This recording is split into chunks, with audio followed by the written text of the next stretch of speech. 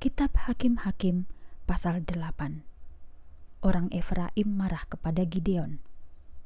Tetapi para pemimpin suku Efraim sangat marah kepada Gideon. Apa sebabnya engkau tidak memanggil kami ketika engkau pergi untuk memerangi orang Midian? Tegur mereka. Tetapi Gideon menjawab, Bukankah Allah telah menyuruh kalian menangkap Oreb dan Zeeb, panglima bala tentara Midian?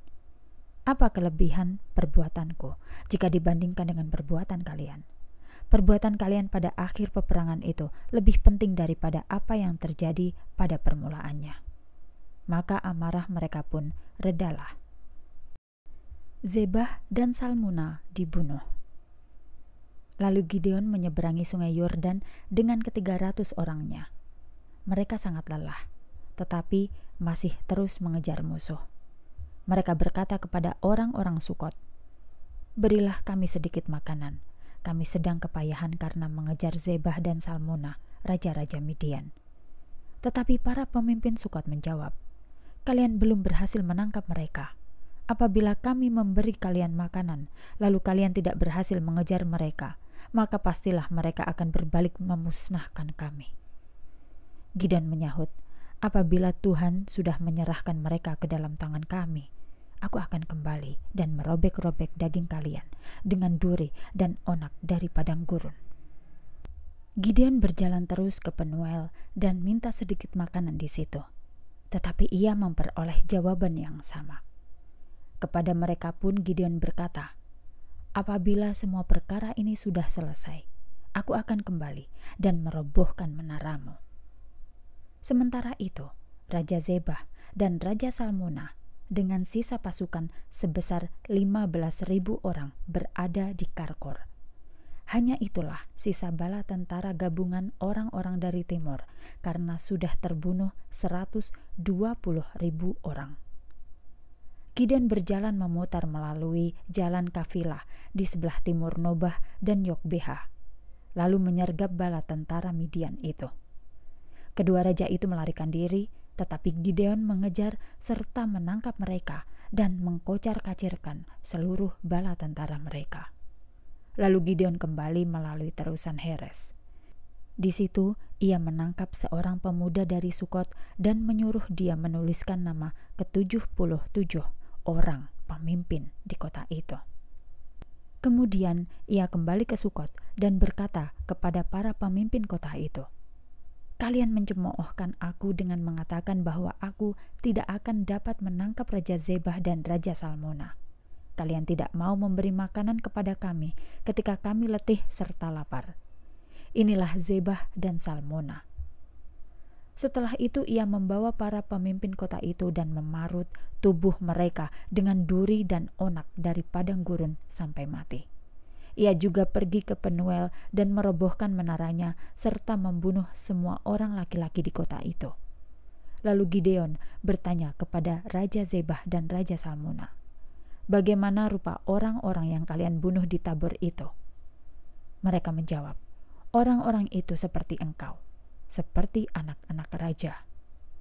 Pastilah mereka itu saudara-saudaraku, anak-anak ibuku, kata Gideon. Demi Tuhan yang hidup, Sekiranya kalian tidak membunuh mereka, maka aku pun tidak akan membunuh kalian. Lalu ia menoleh kepada Yeter, putra sulungnya, serta berkata, Bangunlah dan bunuhlah mereka. Tetapi anak itu masih muda dan tidak berani melaksanakannya. Zebah dan Salmuna berkata kepada Gideon, Engkau sajalah yang membunuh kami, karena engkau memiliki kekuatan seorang perkasa maka Gideon membunuh mereka dan mengambil perhiasan yang terdapat pada leher unta mereka. Akhir hidup Gideon. Kemudian orang-orang Israel berkata kepada Gideon, "Biarlah engkau memerintah kami, engkau dan putra-putramu serta semua keturunanmu, karena engkau sudah menyelamatkan kami dari bangsa Midian." Tetapi Gideon menyahut, "Aku tidak mau memerintah kalian." Anak-anakku pun tidak. Hanya Tuhanlah yang memerintah kalian. Namun demikian, aku mempunyai satu permintaan, yaitu setiap orang di antara kalian hendaknya memberikan kepadaku anting-anting yang telah diambil dari musuh.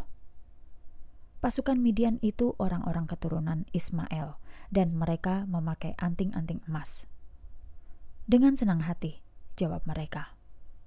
Lalu mereka membentangkan sehelai kain untuk menaruh anting-anting emas yang telah dirampas mereka dari musuh. Semuanya mencapai 1.700 shikal emas atau 19,5 kilogram belum termasuk bulan-bulanan, perhiasan telinga, serta pakaian raja-raja, dan kalung rantai pada leher unta.